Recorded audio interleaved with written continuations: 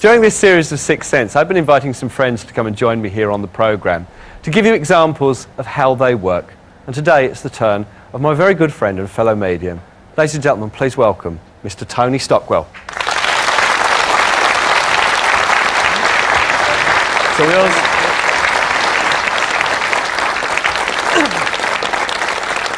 Well, hello everyone, and thank you for agreeing to work with me today.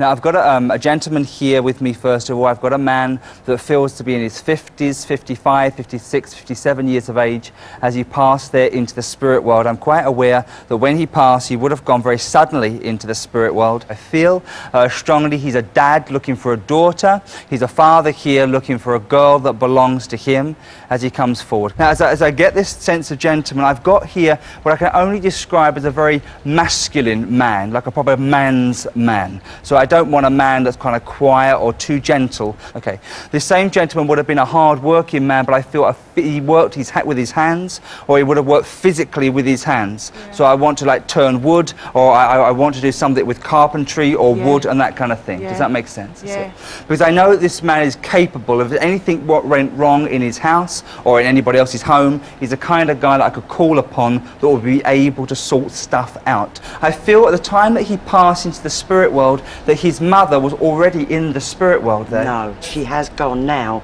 Okay. She had not at the time. Okay. I get a sense of mum with him, absolutely yeah, in now, the spirit yes. world. I do. I feel that. And I get the sense of him coming. I get the sense of her coming too. But I don't want to muck around with her because she's a bit be careful. God. I feel that she's um, she's quite a forthright oh, woman, this one, and um, there's loads of things I could have said about her, but I know she comes in. But it's like you better get this right, boy, or you've had oh, it. True. That's yes. what she gives me. That's her. And um, he makes me laugh. She makes me laugh because I feel a bit sorry for him, really, because I know that she would have badgered him a little bit if he didn't do as he's told. Yes. And in some ways, she led him a bit of a merry dance there. So I feel if he hadn't phoned her enough, hadn't gone round yes. enough, she's on the phone. What's the matter with you? Have I offended you?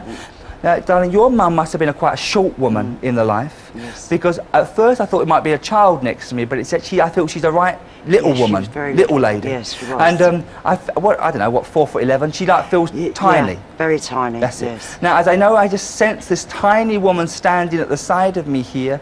I know that she loved to talk, my lady, oh. loved to talk. Very because much. I can't get a word in edgeways. No. That's hard for you to believe, isn't it? But I know that she just keeps chatting, chatting, chatting on there. All right, darling, you're doing all right. Now, as she talks to me, I feel your mum had dentures, darling. Yes. That's it. Now, um, I don't want to be unkind about her teeth, but either her teeth slipped a bit or because when she talks, it feels like her teeth move. She used to crackle them. That's fine, that's it, look. Because I know in the spirit she's got good spirit teeth, eh?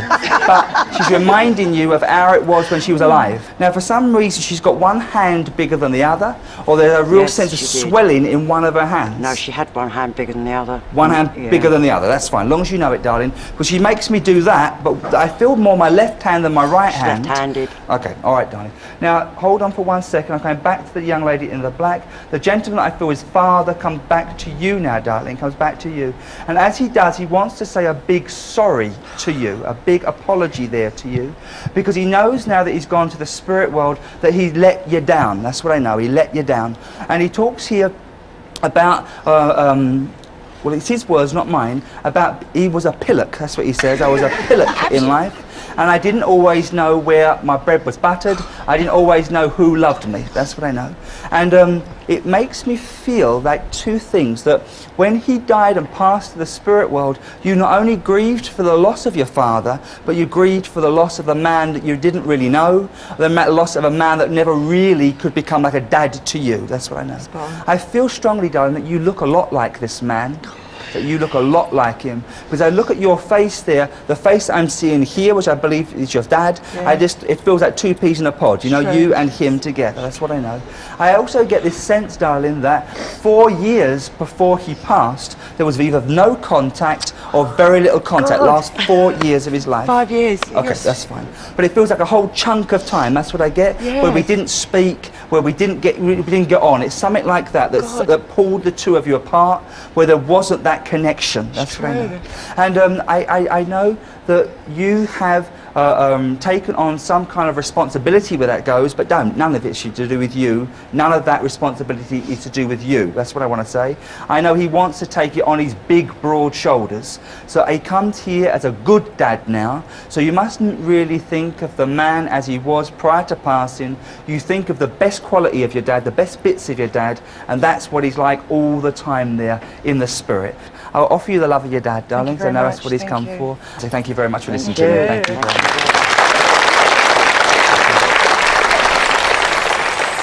Tony mentioned that there was a man in his 50s looking for his daughter.